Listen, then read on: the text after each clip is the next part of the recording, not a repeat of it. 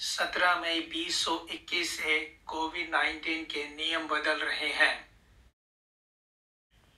सोमवार 17 मई 2021 से दो घरों से छह लोग घर के अंदर मिल सकते हैं।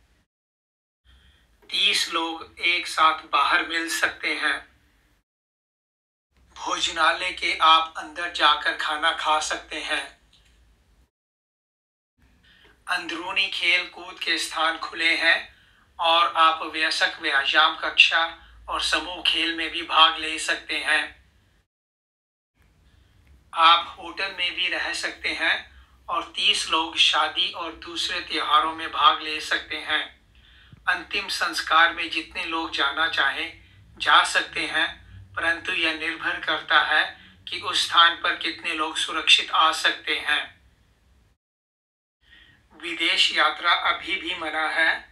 इसके लिए आप सरकार की वेबसाइट पर जाकर पूरी जानकारी लें। कृपया अपने हाथ नियमित रूप से धोते रहें, मुँह पर मखोटा पहने और दूसरों से दूरी बनाए रखें। अगर आपके घर में मेहमान आए तो कृपया अपनी खिड़कियाँ खुली रखें ताकि आपके घर में हवा का बहाव आता जाता रहे। जब आपकी टीका लगने की बारी आए तो कृपया अपना टीका ज़रूर लगवाएँ। आपका बहुत बहुत धन्यवाद।